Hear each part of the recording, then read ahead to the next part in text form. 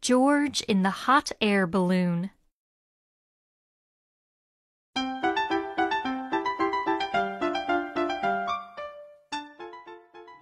Winter is near. It is time for geese to fly south.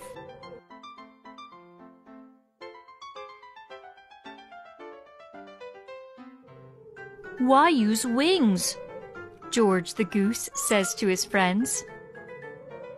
There's an easy way. George gets into the big hot air balloon. Up he goes.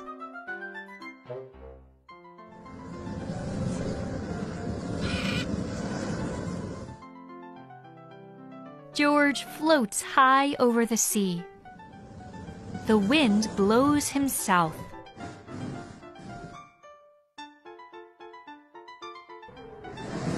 Three goals fly by. George, can we join you? Come in, calls George. The goals get into the basket. The balloon sinks a little.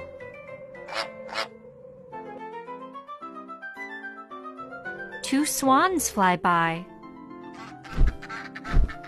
George, can we join you?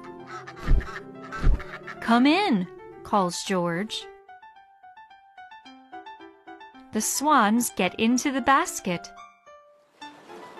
The balloon sinks more. A pelican flies by. George, can I join you? Come in, calls George. But the pelican is too heavy. The hot air balloon falls into the sea. Too wet, too wet. George's friends fly away.